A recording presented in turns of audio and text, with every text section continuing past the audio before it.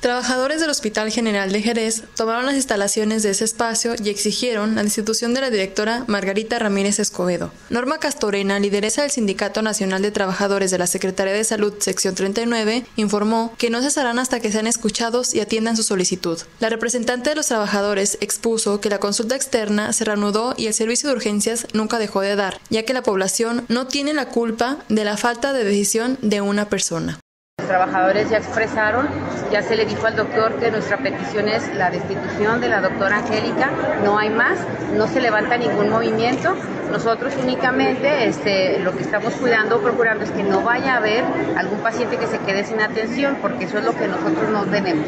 Aquí se está atendiendo hospitales, atendiendo urgencias, atendiendo consulta externa. Se va a dar ahorita la consulta externa rápida y nos volvemos a plantar afuera, porque nosotros no estamos deteniendo la consulta ni la atención. Norma Castorena informó que el movimiento continuará hasta que se destituya la directora y están recibiendo mensajes de apoyo de los hospitales de Fresnillo y Zacatecas, cuyo personal también está dispuesto a hacer los plantones en dichos lugares. Estamos recibiendo ya este, mensajes de, los otros hospitales, el Hospital Fresnillo, de Zacatecas, manifestándonos el respaldo y el apoyo para que si esto sigue, ellos también allá están dispuestos a hacer plantones en apoyo al Hospital General Jerez, porque la problemática existe ya en varios lados, solo que a veces la gente no se anima a hablar por el temor a las represalias.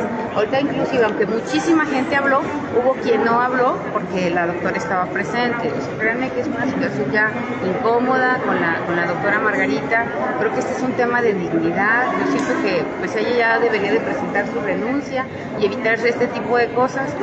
Los trabajadores exigieron que se atiendan las necesidades de salud que tienen en el hospital, tales como equipo de rayos X, medicamento, reparación de equipo, entre otras cosas, situación que ignoró la directora. Desde Radio UDG en Colotlán, Isela Gamboa.